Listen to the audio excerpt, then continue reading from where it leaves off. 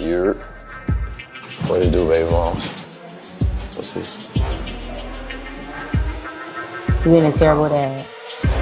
God damn, man, stop saying. I came here to just see my son smile. At the end of the day, I miss my son First of all. That hurt me way more than it hurt you. You start off the conversation saying you're being a terrible dad. What are you talking about? Like, I just hurt my feelings. I'm not gonna lie to you. That's crazy. Do you honestly feel like I'm a terrible dad?